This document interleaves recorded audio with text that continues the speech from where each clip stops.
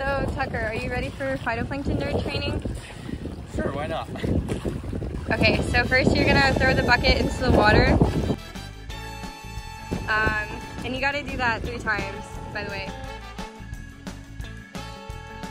Um, so now we have the brown bottle.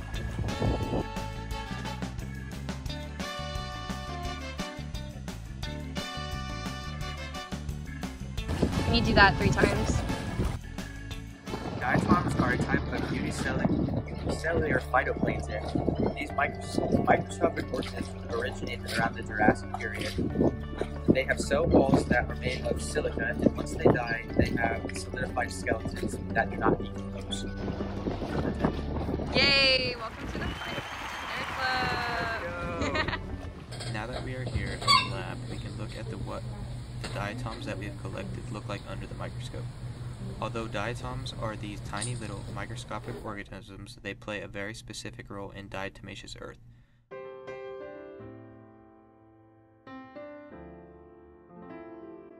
I'd like to thank everyone who came here today in remembrance of the great diatoms.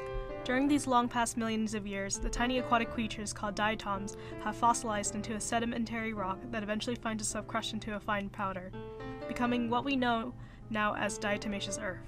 Accumulating over long periods of time, it is found within rivers, lakes, and the great ocean.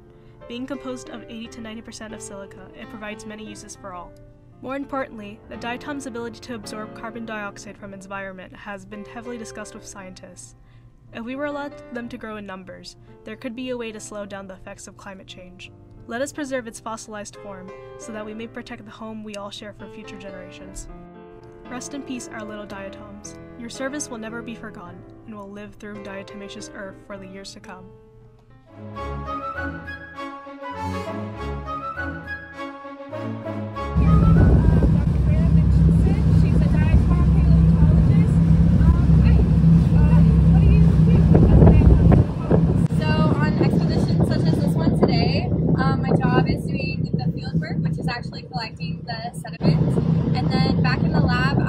Through a microscope and identify diatoms based on their frustules. And then um, I'll also run chemical analyses such as um, radioactivity ones and tracing like that.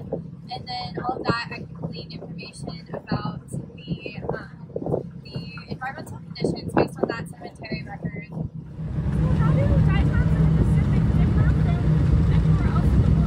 So there's definitely differences in the hydrography, which can result in different um, assemblages of the diatoms.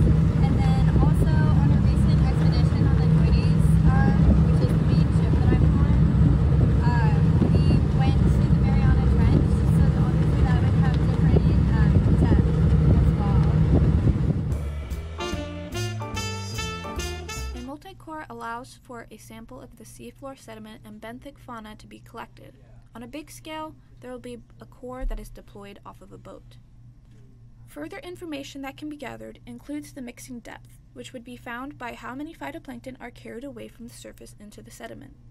If there is a larger area of mixing depth, then that means that there is likely also more phytoplankton being lost from the surface and pulled into the sediment. Good evening and welcome to the Diatom Diary Diary Evening News. Tonight we have a special treat right here in our very own studio. Before she heads off on another expedition is Freya Mitchinson from the JOIDES Resolution. Hello, nice to see everyone again. And it's nice to be back on land where it's a lot less windy. And as you mentioned, I will soon be leaving for Expedition 396. So, can you tell us what the goal of the upcoming Expedition 396 is? Um, in Expedition 396, we'll focus on sediment from the Paleocene-Eocene thermal maximum, or PETM for short, um, which was an extreme global warming event 56 million years ago. Um, looking at the source of nutrients, species of diatoms, and the elemental composition will provide um, and be preserved in the diatomaceous earth. This sounds complicated, and pardon me, but why should we care about this information? Didn't you say the PETM event occurred 54 million years ago? Well, you see, we are currently entering into another global warming event, And scientists think PETM was the last major global warming event. So we can use what it was like during the last PETM to create predictions for what might be the next global warming event that we are entering into. I see. Thank you for the clarification. Well, bon voyage and safe travels. Thank you. And one last word, word for all the viewers out there diatoms are cool and you should totally like them.